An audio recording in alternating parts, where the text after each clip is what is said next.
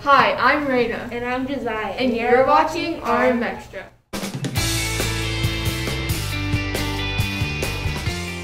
RM Extra. Today is Thursday, January 14th. For lunch today, it's chicken nuggets, PB&J sandwich, cheese potatoes, carrots with ranch, peaches, oranges, and milk.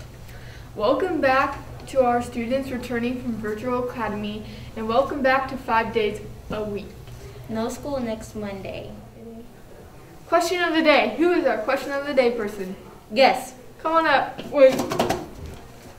Zoe. It's All right, now let's get started with our questions of the day. We're gonna ask her like six questions because we'd like to torture Zoe. Right. So, can we replace teachers with computers? Probably not.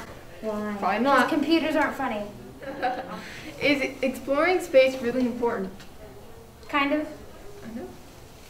Are zoos beneficial to animals in any way? No. No? All right. What is the need to have the Olympics? Wait, hold on. What is the need to have Olympics? Um, to make sure that we tell other people that somebody is always better than them. That's perfect. Does there need to be a change in the age of voting? Yeah. Should the school hours shift to being later in the day? Yeah. I agree with studies have shown that kids have better like test scores and stuff when they start school later. Yeah. Would you like to do 14 more questions? No. Okay. See you tomorrow on RMXtra.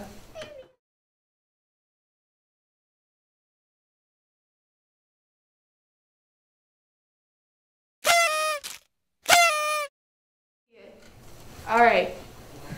So, today's question of the day, which we are fully prepared for. Are you? Yes. Diabetes. Look like kids. Wait, wait, wait. No, it's funny to do like adult things that we don't know what we're talking about. But wait, so we have to be our outro. Uh, All right, three, two.